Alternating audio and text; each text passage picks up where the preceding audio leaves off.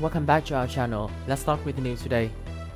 Ukraine reveals details of potential peace deal with Russia. The Ukrainian delegation to talks with Russia on Tuesday has laid out a possible framework for a future peace deal based on legally binding security guarantees that would provide for other countries to intervene if it is attacked, according to the Associated Press.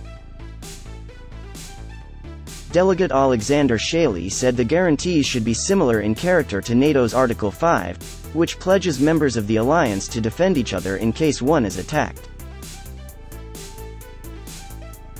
The delegation said Ukraine is prepared to pledge to be neutral, not to host foreign military forces and to hold talks over the next 15 years on the future of the Crimean Peninsula, which Russia annexed in 2014.